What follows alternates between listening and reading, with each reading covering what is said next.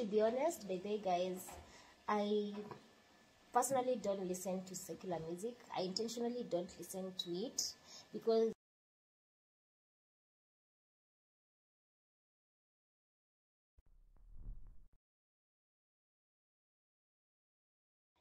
Hi guys, how are you doing? Hoping you're doing well and happy Friday. Oh la la la la la. Eh.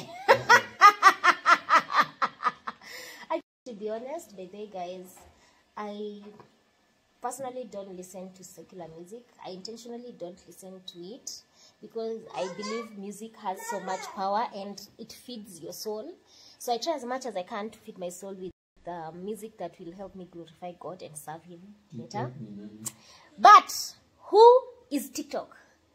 I don't say secular music is bad. I've mimi nakwanga hiyo ni topic nachanga nakwanga nimeacha hanging personally but just my preference. Kabia anasema ati it's bad. I don't think it's bad. What do you mean it's bad? Hey, unajua kuna circular zingine.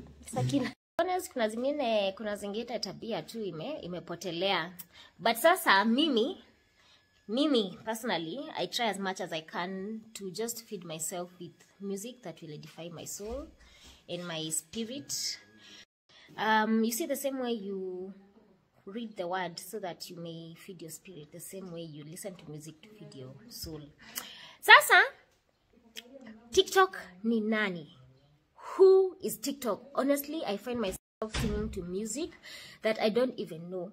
But just because nimeiona TikTok ninaimba imba sana, najipata na sing along.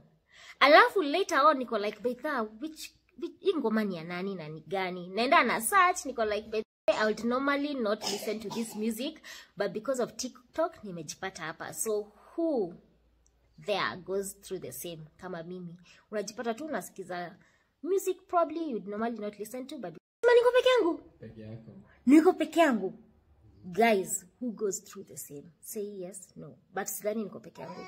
Especially if you're a christian. Unajua? I feel like hata hata kama we si christian maybe hata kuna ngoma tu mali you didn't listen to and then unajipatanga tu unasikiza because of tiktok. Ama unajua tu wako ka chorus what's up? You love attention you guy my guy.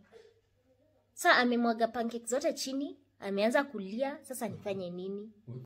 What's going on anyway guys mm, hiyo topic ngoma i feel like it's a very broad topic that i'd love to discuss at some point on my stories. But for now i just want to say it's international menstrual hygiene day. Did you know? Did you know? Did you know?